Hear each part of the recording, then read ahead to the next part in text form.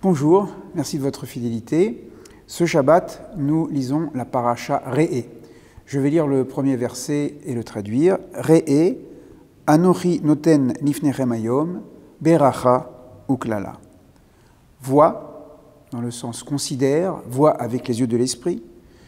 Je donne devant vous aujourd'hui la bénédiction et la malédiction. Bracha uklala.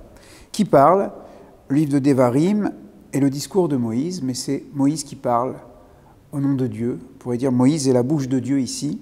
Et c'est Dieu qui s'adresse aux enfants d'Israël et qui dit Je donne devant vous, noten, je donne devant vous la bénédiction et la malédiction.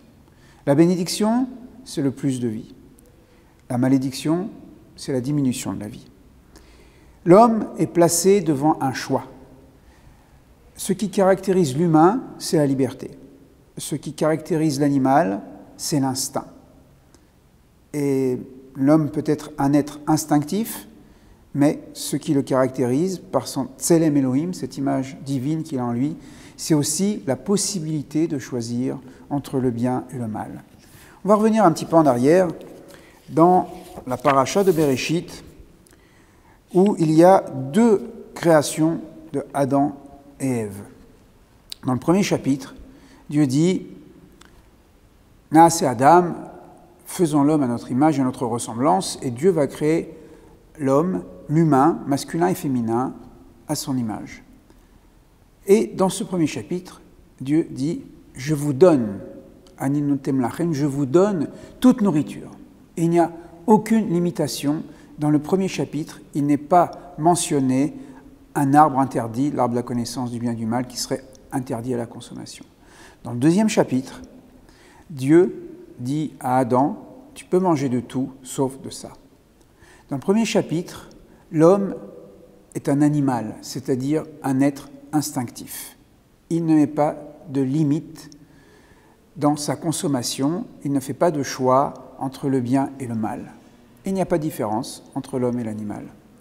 Dans le deuxième chapitre, ce qui caractérise l'humain par rapport à l'animal, c'est que l'homme va choisir entre ce qu'il va manger et ce qu'il ne va pas manger. C'est la naissance de la liberté. Nous lisons d'ailleurs dans le chapitre 5, premier verset, Zé Sefer Toldot Adam, ceci, en parlant de la Torah, est le livre de l'engendrement de l'homme.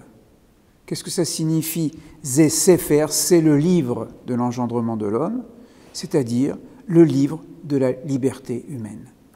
Nous approchons de Rosh Hashanah et comme d'habitude, nous lisons toujours cette paracha à l'approche de Rosh Hashanah du Nouvel An. Re'e anochi noten ifnechem ayom bracha uklala considère que la bénédiction et la malédiction est placée devant nous. Et la question que nous devons nous poser, surtout à l'approche de ces fêtes, qui sont des moments d'introspection, de bilan au plan moral, spirituel, ben de dire Qu'est-ce que nous avons fait comme choix? Est-ce qu'on a choisi la bracha, d'augmenter la vie, le bien dans le monde? Ou Au contraire, on a choisi Kelala. Ben, je souhaite qu'à l'approche de cette nouvelle année et à l'écoute de cette paracha, nous sachions répondre à Dieu. Nous avons choisi la bénédiction. Shabbat Shalom.